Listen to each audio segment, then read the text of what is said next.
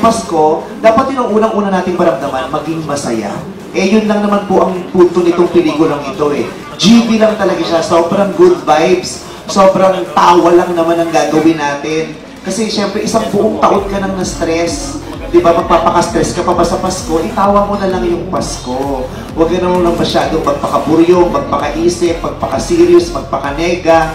Di ba? Tawa tayo. Happy lang tayo sa Pasko kasama yung buong pamilya. Kaya dapat ito yung unahin mong ah, panoorin.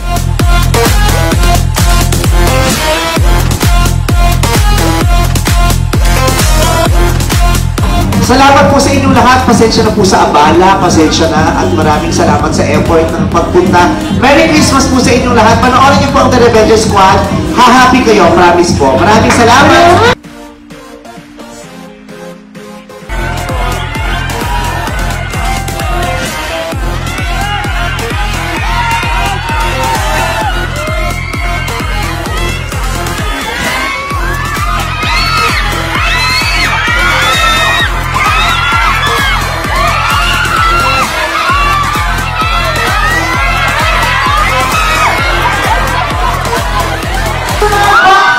Mga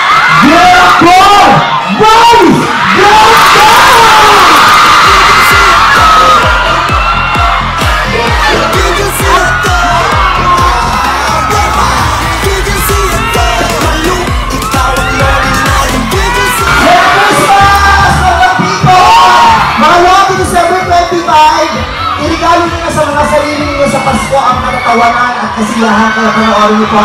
Kenta Rapido, Revenge Squad. Salamat sa lahat ng ako mga ito, police na dito. Maraming salamat.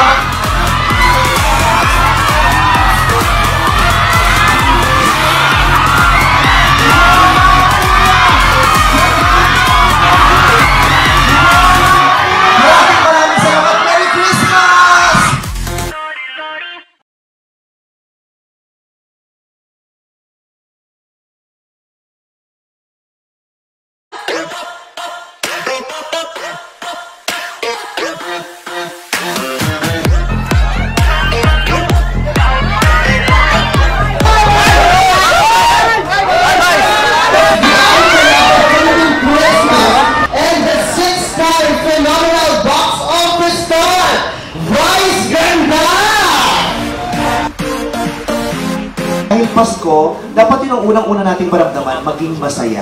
Eh, yun lang naman po ang punto nitong pelikulang ito eh. GB lang. Okay, Pia, kumusta? Sino po sila? Eh, yung hairpin, yung hairpin, yung hairpin. Pia. Parang lumuwag yung hair. Kinaya ba? Parang nakahawak ka nga kanina dyan. Oh, wala na akong pakialam. Ang mahalaga yung hawakan ko yung hair ko. Pagkamatayan na hindi pwedeng malaglag yung hair. Nakakahagard. Si Pia pagbaba, big hair. Guys, you like it? I love it.